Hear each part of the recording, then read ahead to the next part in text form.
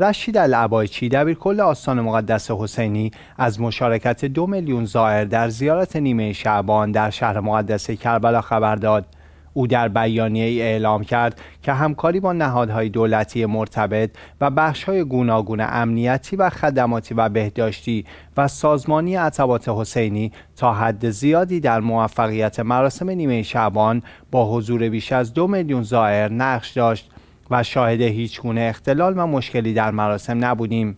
وی همچنین اشاره کرد که آستان مقدس حسینی تمام توان خود را برای برگزاری هرچه بهتر این مراسم بسیج کرد و افزود که 6000 نیرو شامل 600 زن از نیروهای امنیتی و 900 زن داوطلب به همراه هزار کادر درمان در همه مراکز درمانی عتبات به خدمت رسانی مشغول بودند.